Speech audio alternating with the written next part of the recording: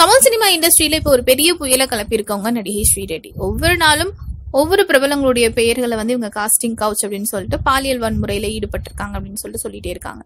So இதுல வந்து பெரிய பெரிய நடிகர்கள் இயக்குநர்களுடைய பெயர்கள்லாம் இது வரைக்கும் அவங்க சொல்லியிருந்த நிலையில இது எல்லாருக்குமே ஒரு பெரிய ஷாக்கிங்கா இருந்தது. அண்ட் இது தொடர்பாக வந்து விஷால் தன்னை மிரட்டுறதாகவும் ஸ்ரீரெட்டி சொல்லியிருந்தாங்க. அதே சமயத்துல ஸ்ரீரெட்டி வந்து ரீசெண்டாக ஒரு இன்டர்வியூல விஷால் கிட்ட மன்னிப்பும் கேட்டிருந்தாங்க. இதுக்கு ஒரு கரெக்டான ஒரு ஆக்ஷனும் எடுக்கணும் அப்படின்னு சொல்லி ஒரு ரெக்வஸ்ட்டும் வச்சிருந்தாங்க.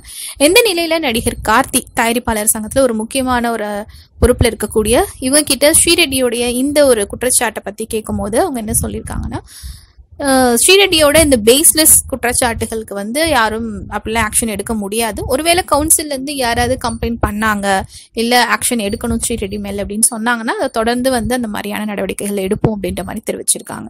ஸோ கார்த்தி நடிப்புல சமீபத்தில் வெளியான கடைக்குட்டி சிங்கம் படம் பெரிய ஒரு வரவேற்பு ரசிகர்கள் கிட்ட வாங்கியிருக்கு. அண்ட் இந்த படம் விவசாயிகள் பத்தியும் குறிப்பா குடும்ப படமாவும் இருக்கிறதுனால ரசிகர்களை ரொம்பவே கவர்ந்தது. குறிப்பா சொல்லணும் அப்படின்னாக்கா நம்ம நாட்டுடைய வைஸ் பிரசிடென்ட் வெங்கையா நாயுடு அவர்கள் இந்த படத்தை பார்த்துட்டு பாராட்டியிருந்தது குறிப்பிடத்தக்கது.